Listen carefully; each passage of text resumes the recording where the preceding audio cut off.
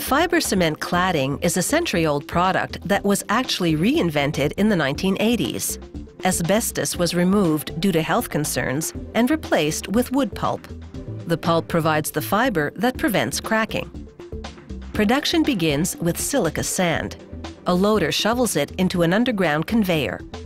The sand particles, which are about the size of beach sand, are about to be ground down to a fine powder. The conveyor takes the sand up to a revolving cylindrical grinder called a ball mill. So named because inside, steel balls tumble around to smash the sand particles into much smaller bits. They pipe in water to keep the dust down and eliminate the need for an exhaust system. This also liquefies the sand, making it easier to pipe it through the plant during the various stages of processing. But the sandy liquid needs to be thickened substantially, so it's into a tank to drain off much of the water. What's left is about 80% sand. The next ingredient is wood pulp, which gives the cement siding bending strength. Without it, the fiber cement siding would be brittle and crack easily. They add water and stir to soften and liquefy the pulp so it can be easily pumped around the factory for processing. At the end of the mixing, the pulp looks like thick oatmeal. Next, they lower cylindrical sieves into position. But first, they blend together the liquefied sand, cement, and pulp, along with some additives, creating a fiber cement slurry. They pipe the cement slurry into a trough beneath the sieves. As the sieves rotate through the slurry, residual water drains through the mesh walls, leaving a fiber cement film on the surface. The film transfers to a felt belt moving overhead. Through the felt, a vacuum mechanism sucks more moisture from the film until it forms a solid fiber cement sheet. Rollers squeeze numerous sheets together. They're still moist enough to stick together and they fuse into one thick board.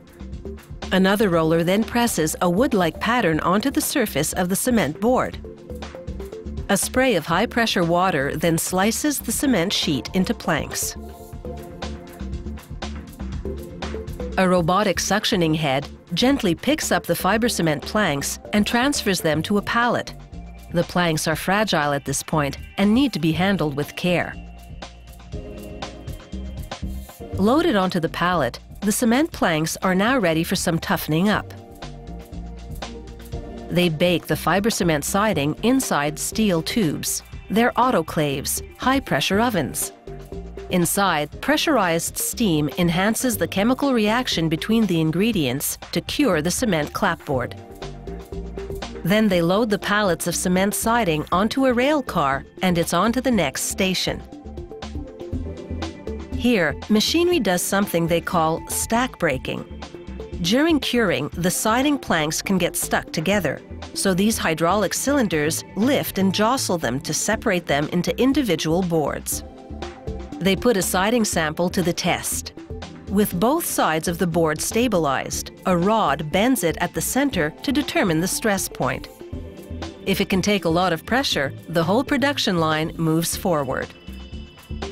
Spaced apart now, the fiber cement planks ride by sprayers that paint the sides and the ends a nice shade of red. The siding then enters a curtain of paint of the exact same color. The paint adheres to the front of the boards.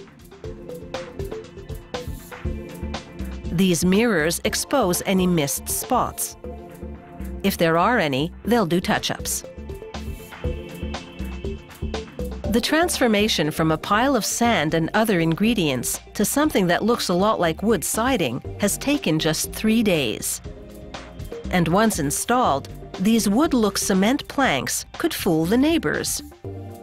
After all, it's all about putting up a good facade.